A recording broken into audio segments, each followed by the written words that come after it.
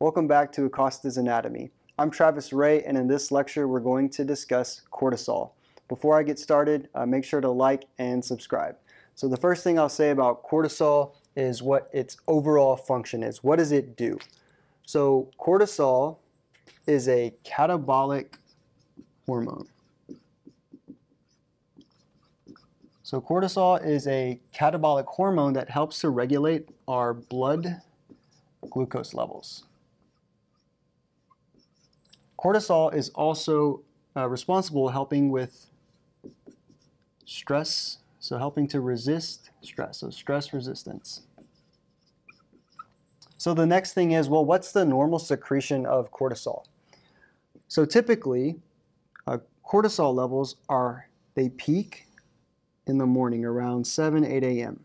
And then throughout the day, these levels, they start to decrease. So they'll decrease until you know, they, they'll reach their lowest levels around, you know, 10, 11 p.m. So then from there, the cycle will continue. And so this is what's known as a di, it's, it's known as a diurnal pattern. So then what about when th these cortisol levels, when they're secreted in excess? So there's a couple of different things.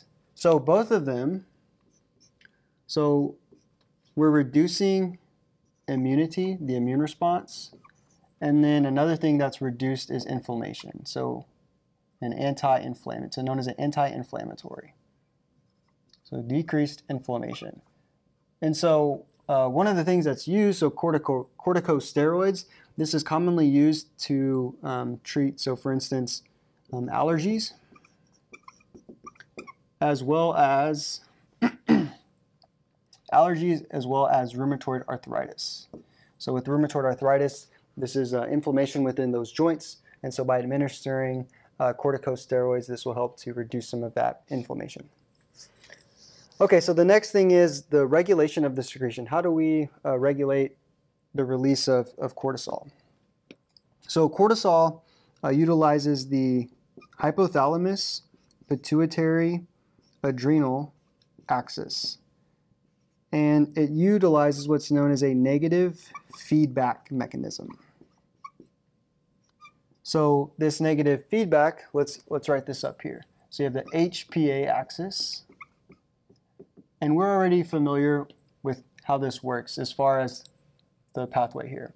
So you have the hypothalamus, and the hypothalamus will secrete something specific known as corticotropin releasing hormone. And then from there, it'll then get into the anterior pituitary gland. From the anterior pituitary gland, we release something that's known as adrenocorticotropic hormone. From there, it'll then travel to the adrenal gland. And then once we're within the adrenal gland, cortisol will be released and then it'll travel to its travel to its target tissue. But the negative feedback mechanism is so once these cortisol levels, uh, once they've reached adequate levels, the negative feedback, so it'll go to first off here at the anterior pituitary, where we'll inhibit the release of ACTH, and then also will inhibit the release of uh, corticotropin releasing hormone by the hypothalamus. And some of the different uh, target tissues so you have, first off, you have the muscle, you also have the liver, as well as fat tissue. Okay, so that's the regulation, the, the regulation of the secretion of cortisol. So now the next thing is, let's get into the actual pathway itself. What happens? So how is uh, cortisol actually synthesized? And then what is the effect that it has within these specific uh, types of tissues. So the first thing we have to do is we have to add a stimulus. So this stimulus can be, it can be either trauma, right? So different types of trauma. You can have either physical, so for instance, like you get into a fight or something like that, those cortisol levels would increase, or just like emotional trauma. So for instance, during finals, it's a very uh, stressful a stressful time, and so uh, cortisol levels are going to be higher during this time.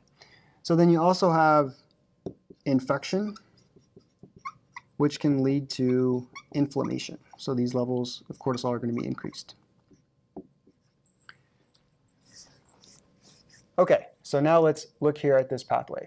So first off, you add that stimulus, and then the hypothalamus, from there, will get the releasing hormone into the anterior pituitary. And from the anterior pituitary, this is what's going to release ACTH. And ACTH, uh, where this comes from, is a particular uh, region within the anterior pituitary. These specific cells, they're known as corticotrophs. So these corticotrophs, they release ACTH, and then they have to get to the adrenal gland. And within the adrenal gland, there is a specific region known as the adrenal. So you have the adrenal cortex. So that's what I have. This is the this cell, the adrenal cortex. More specifically, it's a region within the adrenal cortex known as the zona fasciculata.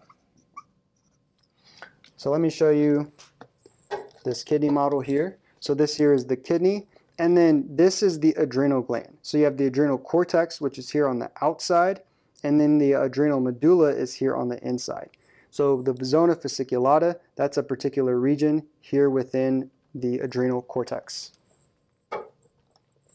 Okay, so what happens once ACTH binds to its receptor within the zona fasciculata? So ACTH, this is a peptide or a protein hormone. It's going to bind here to its receptor. And then from there, we'll stimulate a pathway that we're already familiar with. So this pathway will increase the levels of our cyclic AMP and as a result, we'll activate our protein kinase A. Remember, once again, kinases, they add phosphate groups to things. And so uh, what will occur here is we'll activate the enzymes that are necessary in order to synthesize cortisol from cholesterol. So we'll add phosphate groups to these particular enzymes and then synthesize cortisol. So then from there, cortisol will then get into the blood.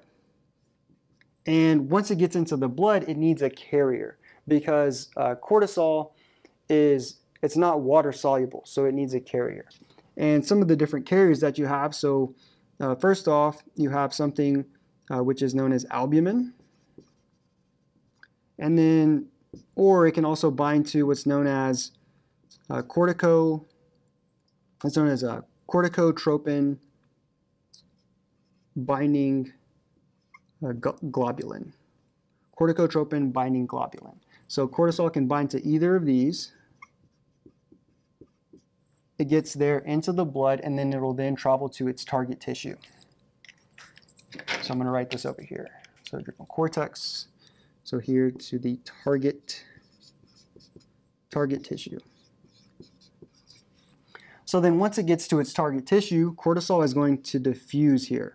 Once it diffuses into the target tissue, it binds to its receptor.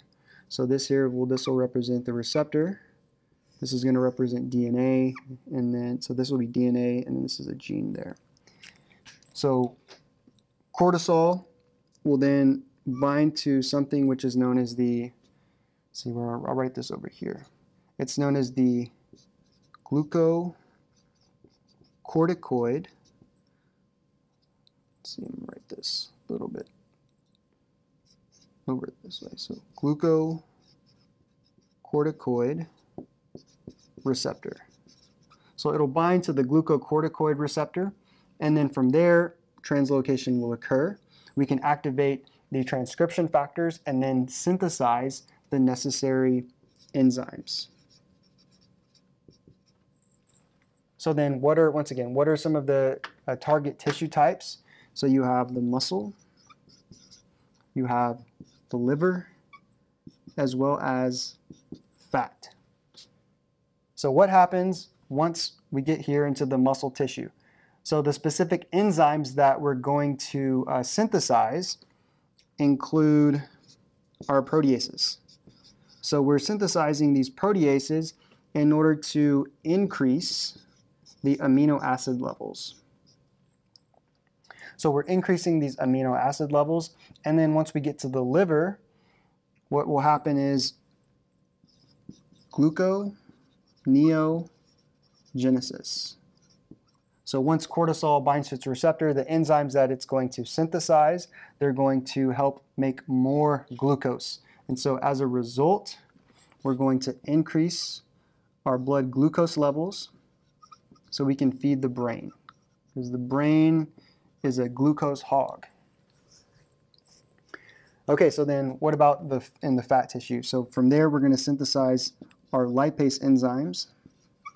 And the lipase enzymes, lipolysis is going to occur.